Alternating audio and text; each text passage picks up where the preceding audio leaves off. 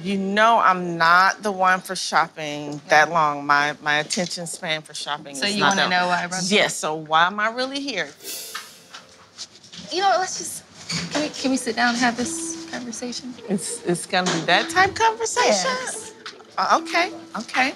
I've often felt like since I was the younger sister that I was not heard. Like I was just this mute little girl when it comes to the business. And I just couldn't take it anymore.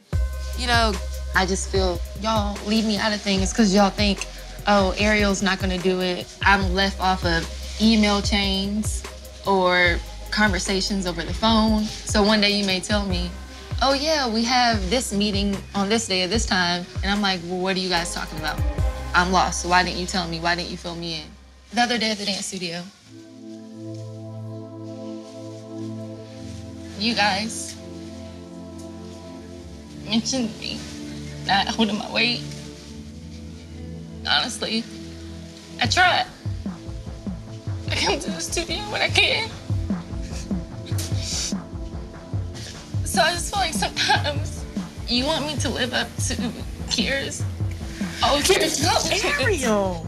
Oh my gosh, I didn't know you felt that way.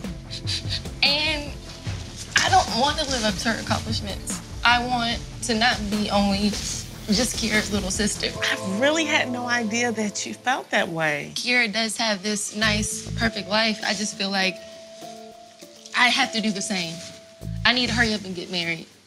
I need to have two or three businesses on my belt. And people often compare us like, oh, your sister was a cheerleader, so you were. Oh, your sister did a pageant, so now you're doing one. And it kind of feels like I'm tag along at the dance studio.